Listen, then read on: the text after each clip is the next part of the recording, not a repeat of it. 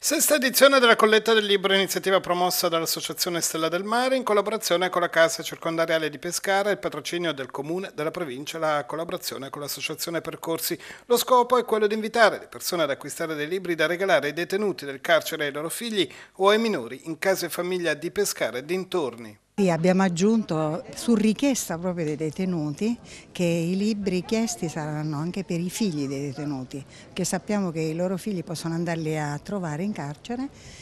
e eh, loro hanno chiesto proprio questa disponibilità, che insomma eh, incontrare i figli e donare un libro è sicuramente anche per loro una bella cosa. Ecco.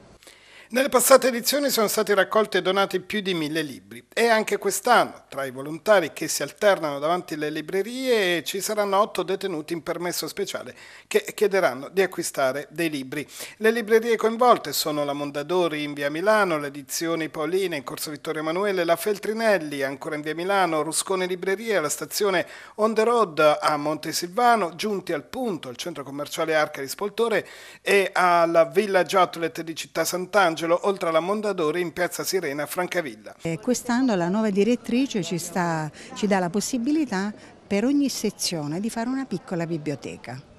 eh, con tutto il rischio anche che questi libri possano essere diciamo, non trattati adeguatamente, ma noi siamo disposti anche a questo perché vediamo che la popolazione è molto sensibile anche a donare libri in buono stato usati, però non oggi, oggi noi siamo davanti alle librerie per, per eh, sollecitare le persone a donare libri nuovi,